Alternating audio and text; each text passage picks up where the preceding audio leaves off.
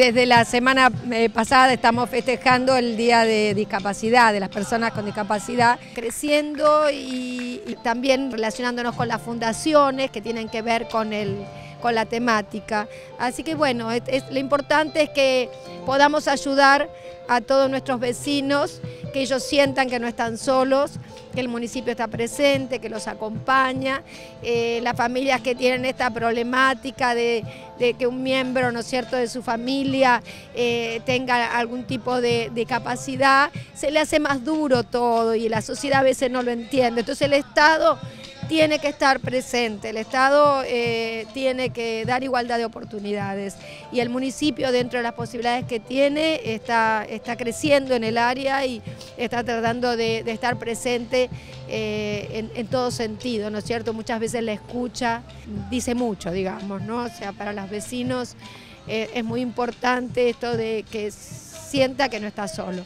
Un año de mucho trabajo, de muchos logros para los chicos, de muchas oportunidades que les fueron apareciendo, así que bueno, una, un momento compartido con las familias que son muchas, por suerte. En realidad empezamos muy poquitos, continuando lo que estaba, le fuimos agregando cosas y brindándoles otras oportunidades a la persona con discapacidad. Muchos chicos que, que se incorporaron a las actividades, chiquitos, adultos, así que muy contentos, por suerte. En este momento somos 62 beneficiarios con un equipo maravilloso y bueno, como, comentaba también la Secretaria de Salud, este, con otros dispositivos en el municipio que ya estamos buscando atravesarnos por la misma mirada inclusiva.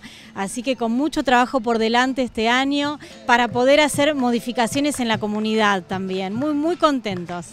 Es estupendo lo que se está haciendo, realmente cada día crece más, es muy bueno lo que se está haciendo, el trabajo de los profesores, el apoyo de la municipalidad, todo realmente es excelente. La verdad que el trabajo es por demás muy gratificante, este, desde los niños, la dedicación, excelente, no hay nada, ninguna queja, al contrario, es felicitar a cada uno de ellos. Una experiencia muy buena para mí, porque nunca me imaginé que iba a jugar un mundial, Empecé a jugar al tenis en el 2014, hace pocos años que empecé a jugar al tenis y fue una experiencia muy linda para mí. Saqué tercer lugar y cuarto en doble. La verdad que es un orgullo para mí también superarme año a año y representando a San Fernando más todavía. Así que eh, todo se puede y con esto más, más que nada le digo que, que más que tenga una discapacidad yo puedo, puedo lograr las cosas.